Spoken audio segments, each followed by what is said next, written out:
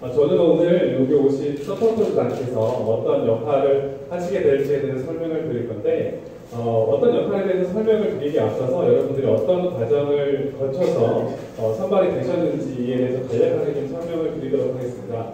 먼저 저희가 그 지난 5월에 각 시도교육 정보 학교에 어, 이제 저희 지, 어, 진로 체험을 홍보할 수 있는 서포터즈단을 모집을 했고요. 어, 저희가 그 한 달 동안 모집을 했는데 약 어, 성인 150명 그리고 학생들 50명에 걸쳐서 200명이 지원을 했습니다. 근데 저희가 그 200명을 다 서포트, 서포터즈단으로 모시면 좋은데 그럴 수가 없어서 저희가 엄격한 심사 과정을 거쳐서 어, 성인 38명, 그 다음에 학생 27명의 어, 서포터즈를 저희가 모집을 했습니다.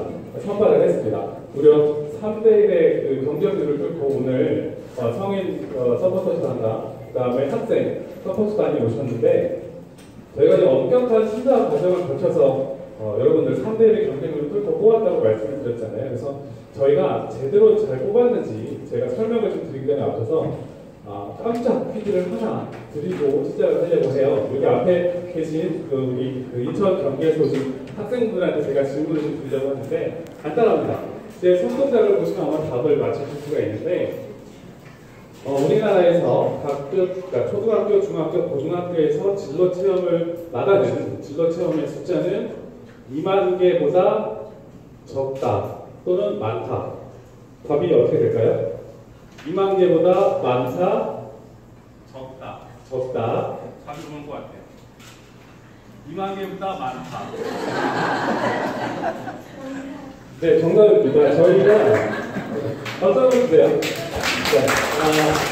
저희가 진로 체험을 나가는 체험체 기간 기관 수는 4만 6천여 개라고 해요. 저희 그 증능원에서 그 분석하고 있는 자료에 따르면 그래서 이 4만 6천여 개의 진로 체험처 중에서 여러분들이 속한 여러분들이 살고 계신 그런 진로 체험처들 중에 일부를 이제 방문해서 홍보하는 기사를 작성하실 텐데 어, 저희가 이제 그 그러면 우리나라 진로 교도자 길라잡이 서포터즈단을 어떤 분들을 뽑았느냐 학생 서포터즈단의 경우에는 당연히 내가 살고 있는 우리 마을을 사랑하는 점이 기본이고 다양한 진로 체험에 대한 호기심이 많고 지역을 대표할 수 있는 내가 살고 있는 지역을 대표할 수 있는 어떤 미래 인재로 성장할 수 있는 학생 잠재 능력을 저희가 보고자 많이 노력을 했고요.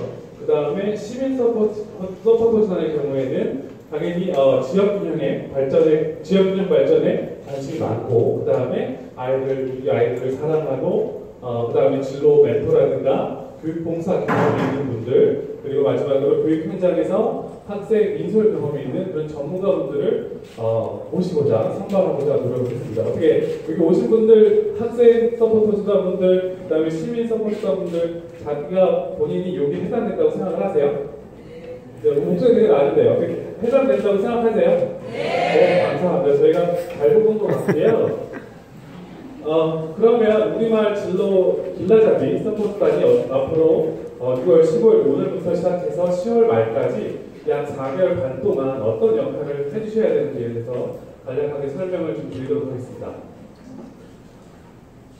먼저 학생 서포터단의 경우에는 아무래도 내가 살고 있는 우리 마을에 진로 체험처를 방문을 해서 실제로 어, 그 진로 체험처에서 제공하고 있는 그 진로 체험을 실제로 같이 해보고 그 다음에 체험처에서 그런 프로그램을 제공하고 계신 멘토들을 인터뷰를 해서 어, 학교로 돌아가서 우리 친구들에게 학교에 있는 친구들에게 아 내가 어떤 진로 체험 프로그램을 체험을 했는데 너무 좋았다 어떤 게 좋았다 이런 것들을 홍보해 주시는 역할을 어, 수행해 주시면 됩니다.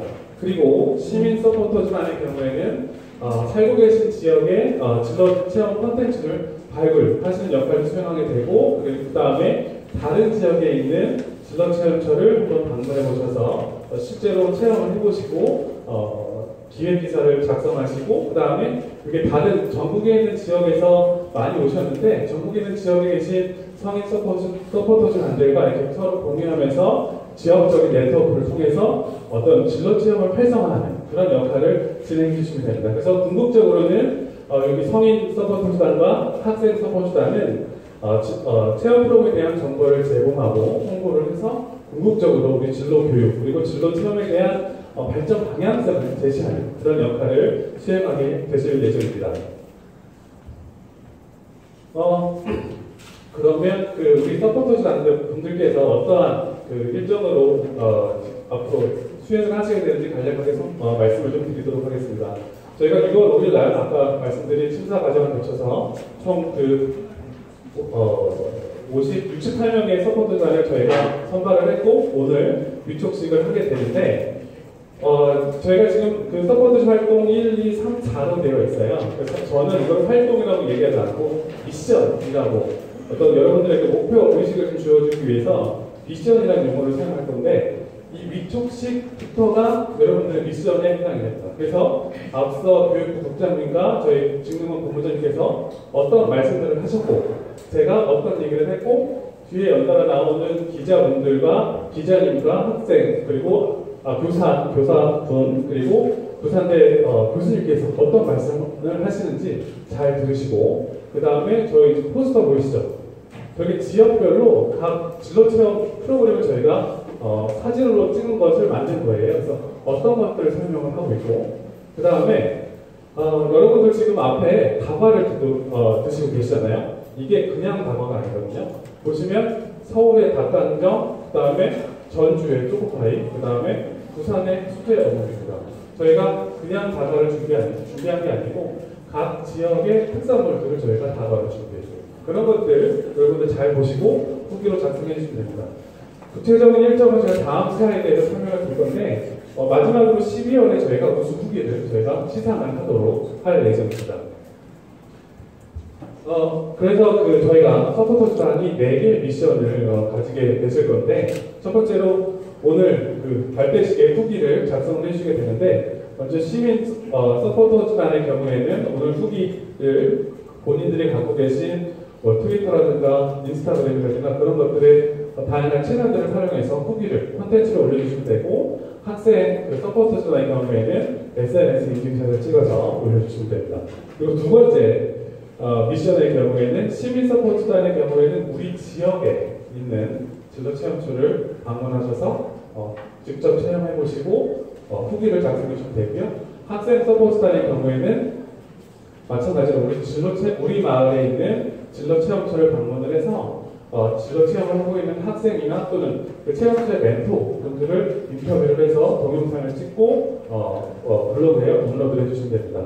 세 번째 미션은 뭐냐면 어, 시민 서포터 수단의 경우에는 아까 우리 지역 말고 다른 지역과도 교류를 하셔야 된다고 제가 말씀을 드렸잖아요. 그래서 우리 지역이 아닌 다른 지역에서 제공하고 있는 지도 체험소를 방문을 하셔서 체험을 해보시고 똑같이 후기를 어, 작성해서 올려주시면 됩니다. 그리고 학생 서포터단의 경우에는 어, 이번에는 내가 직접 체험을 하는 거예요. 지도 체험소에 방문을 해서 직접 체험을 해보시고 뭐 포토툰이라든가 하드 뉴스 요즘은 또 학생들 보니까는 무빙툰을 좀 많이 어, 하시더라고요. 그래서 그런 다양한 형식으로 통해서 어, 결과물을 어, 업로드를 해주시면 됩니다. 그리고 마지막으로 네 번째 미션의 경우에는 어, 시민 서포터단은 지금까지 어, 하셨던 그런 체험 후기들을 기획기사를 작성해서 어, 제출해 주시면 되고 학생 서포터단의 경우에는 지금 동안 어, 6월 15일부터 10월 말까지 하셨던 그런 진로 체험들을 어, 어, 모든 활동들을 작성을 해서 제작을 해서 어, 제- 업로드를 해주시면 되겠, 되겠습니다. 예. 어, 서포터 지단 미션이 좀 주의사항인데 뭐 이거는 저희가 일단 그이 발대식 끝난 이후에 저희가 또 소모임을 할 거예요. 그때 저희 멘토분들이 계시니까 그때 어, 자세한 사항 설명을 들으시면 될 것 같고 어, 중요한 거 하나 우리 마을을 사랑하시는 분들이 여기 모이신 거예요. 그래서 우리 마을이 최고야라는 생각만 갖고 계- 어, 어, 물론 가지시는 건 좋은데 우리 마을에서 제공하는 프로그램이 최고야가 아니라 우리 마을 그리고 다른 지역에서 제공하는 어, 진로 체험 프로그램도 좋다라는 거를 좀 어, 염두해 주시고 어, 홍보글을 작성해 주시면 좋을 것 같습니다. 네, 제가 말씀드린 건 이 정도까지고요. 여러분들 그 진로 체험 그리고 우리 마을에 대한 우리 마을에 대한 사랑을 가지고 오늘 어, 서포터즈단 위촉식 오셨잖아요. 앞으로 네 달 반 동안 진로 체험 프로그램을 홍보해 주시는 역할을 해주실 텐데 어, 많은 어, 혹시 어려움 있으시면 언제든지 저희 주변에 연락을 주시면 저희가 지원해드릴 거고 네달반 동안 열심히 잘 부탁드리기를, 말- 어, 부탁드리기를 말씀드리면서 이상 마치도록 하겠습니다. 감사합니다. 네, 앞으로 어떻게 여러분들이 이 서포터즈 활동을 할, 하게 되면 좋은지에 대해서 잘 들어봤습니다. 어, 설명을 듣고 보니까 저는 지원하고 싶었는데 처음에 지원해서 떨어뜨리겠다는 생각이 들었습니다. 다시 한번 수고해주신 이민혁 박사님께 큰 박수 한번 부탁드릴게요. 혹시 활동에 대해서 궁금한 내용이 있다면요, 번역별 모임 시간을 활용하시거나 운영 사무 대표 번호 또는 메일로 질문을 해주시면 되겠습니다. 자, 이번에는 학생 부문 서포터즈단의 활동으로 완성될 진로활동 맵의 사용 방법에 대해서 설명을 드릴 텐데요. 발표회는 부산대학교 박경민 교수님께서 진행해 주시겠습니다. 큰 박수로 맞이해 주세요. 안녕하십니까. 저는 부산대학교 컴퓨터 정보통신연구소의 박김민 교수입니다. 어, 30분 캠은 작년에 제가 이제 이 셀버스 진로 체험 부분들을 운영하면서 심화 프로그램으로 진행했던 부분 중 하나입니다. 그래서 그 부분들을 이제 스포츠 부장님들하고 같이 연계시키면 어떨까 해서 이제 좀 제안을 했던 부분들이고요. 그러니까 사실 우리가 이걸 확산시키고 공유하는 부분들이 지금 굉장히 중요한 이슈로 되어 있지 않습니까?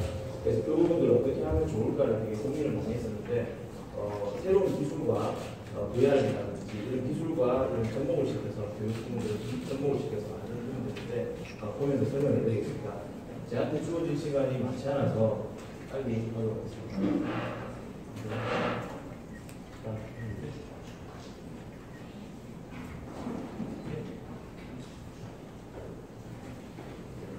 음.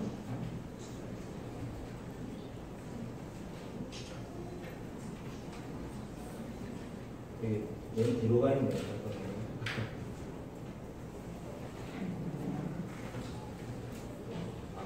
예. 360 캠은 간단하게 말해서 말 그대로 이제 360도 카메라가 있습니다. 우리 옛날에 보면 그 매트릭스 영화처럼 카메라를 여러 대 놓고 이제 사실 주변을 다 촬영을 하지 않습니까? 그거를 이제 이미지로 보통 이제 소프트웨어로 붙입니다. 붙여서 360도처럼 보이게끔 이제 만든 그런 기술인데요. 지금 이제 360도 카메라라고 상용화돼서 많이 나오고 있어요. 그래서 여기에 있는 모든 부분들을 다 볼 수 있게끔 카메라 렌즈 두 개를 360도를 이렇게 촬영을 하는 기술입니다. 그래서 그 카메라들을 여러분 학생 멘토단에 하나씩 이렇게 지급을 할 겁니다. 그래서 그 부분들을 예를 들면 촬영을 하지 않습니까? 촬영을 하면 그거를 공유를 해야 되는데 어떻게 공유하겠습니까? 그냥 올리면 되는 게 아닙니다. 360도는 그냥 우리가 알고 있는 2D 영상하고는 다릅니다. 주변 영상을 다 봐야 되기 때문에 거기에 맞는 플랫폼과 어떤 기술들이 필요하기 때문에 그 부분들을 지도 기반으로 만들어서 여러분들이 예를 들어서 시청자 미디어 센터에 체험을 한다. 그러면 거기에 영상들을 자기가 체험한 부분들을 촬영을 하게 되면 주변이 다 나옵니다. 조금 이따 샘플 영상을 제가 보여드리겠습니다. 다 이제 촬영이 되고 그, 그 인터뷰하는 과정들이나 이런 것들을 이제 여러분들이 이제 그 촬영을 하고요. 그 부분들을 이 지도, 지도 기반의 웹에다가 이제 올리게 됩니다. 그러면 그 지도에 보면 우리 구글 지도 같은 지도 아시죠? 거기에 보면 어, 위치가 정보가 나오지 않습니까?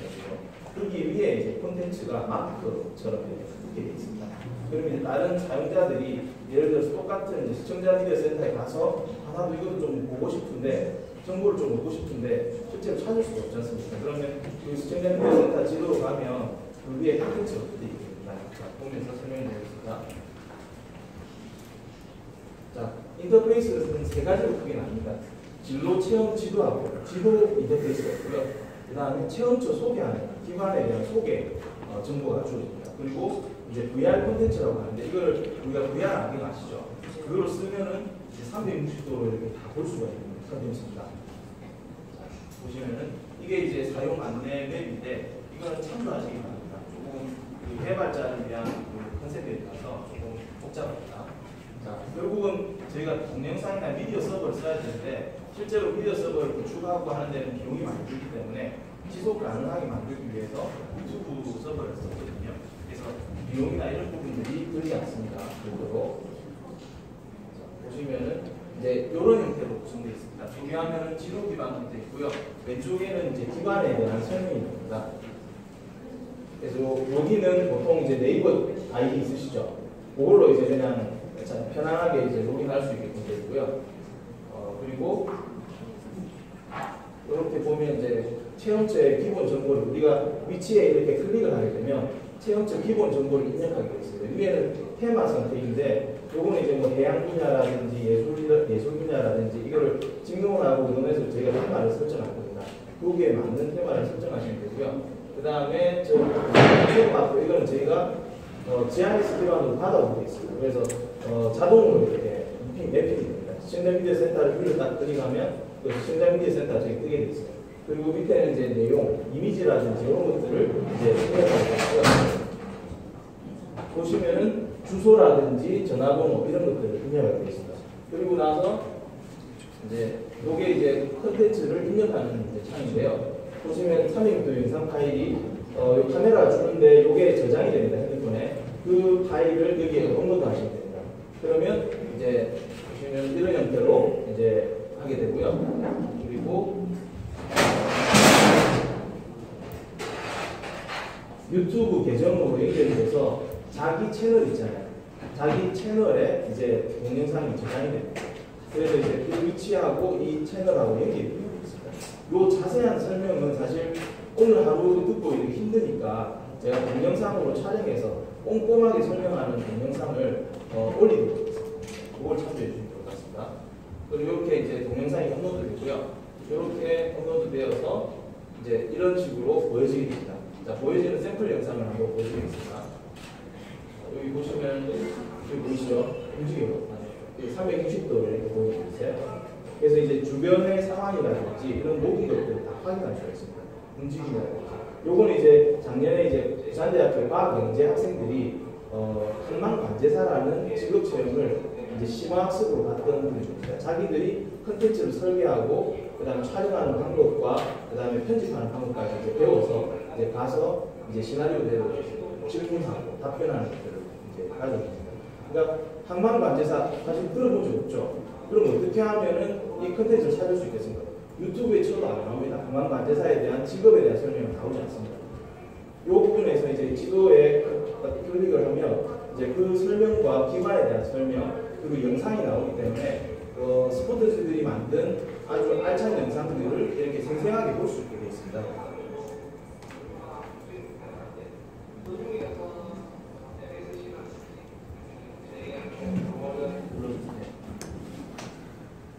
자, 요거는 이제 저희가 제공할 360도 카메라에 대한 설명입니다. 자, 여기 보시면은 에너지 뉴스예요. 오늘 ACBC가 설명해줄 친구는 누구냐? 바로 V570A입니다.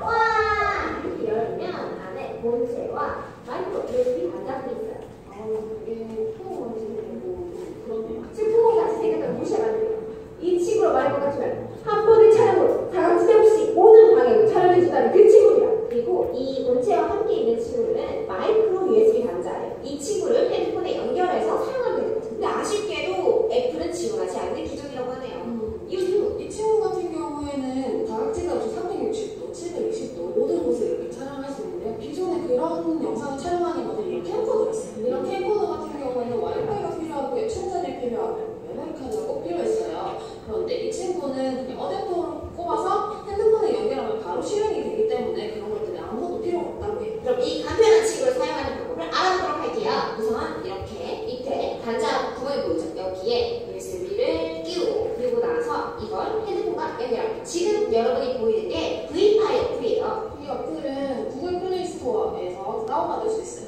자, 지금 연결된 상태예요. 왼쪽 하단에 아이를 누르면 SNS와 연동시킬 수 있어요. 바로바로 공유가 가능하다는 점 너무 좋죠. 그럼 BC가 영상을 찍는 방법을 알려줄게요. 그러면 지금 영상을 찍을 때 왼쪽 상단에 보면 시계 모양이 있을 거예요. 이 시계 모양 눌러보면 이런 타이머를 사용할 수가 있고요. 그리고 오른쪽 상단에 있는 이 조정바 같은 경우에는 카메라 설정이에요. 그래서 비디오 해상도나 뭐 디바이스 뭐 유형이나 뭐 실행 언어 같은 걸 볼 수 있고요. 촬영을 할 거면 사진으로 촬영할 건지 비디오로 촬영할 건지 라이브로 촬영을 할 건지 선택을 할 수가 있어요.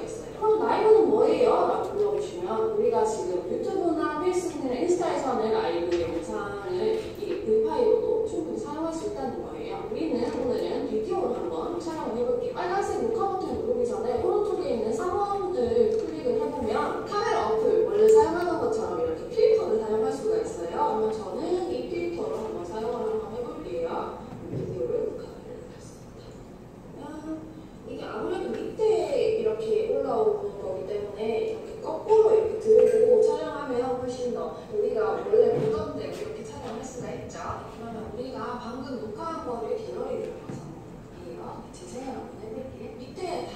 두 번째를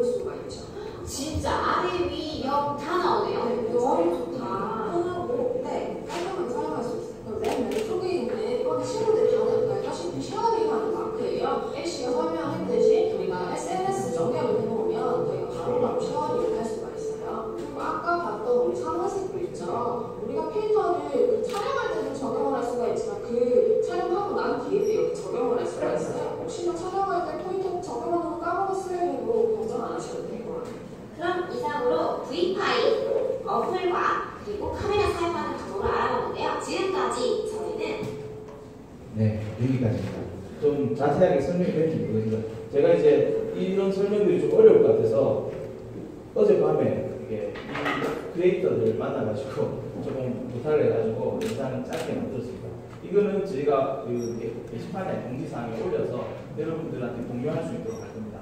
예, 많은 도움이 됐으면 좋겠습니다. 그리고 한마디만 하면 이제 지역 이 지역의 진로 체험처나 지역의 이런 특화된 진로 체험과 그런 산업에 대한 부분들을 이제 여러분들의 그런 눈으로 시각으로 이렇게 영상을 촬영해서 어, 학생들이 눈높이에 맞게 이렇게 볼 수 있게 한다라는 취지로 만든 거기 때문에 좀 그런 측면으로 해주셨으면 좋겠어요. 어떤 친구들은 굉장히 고도화된 편집 기술을 활용해가지고 막 하려고 하는데 그거 필요 없습니다.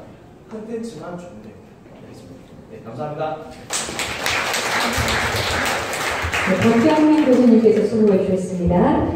자, 이번에는 2017년 지역 특화 진로 체험 우수사례 공모전에서 수상하신 세종 연양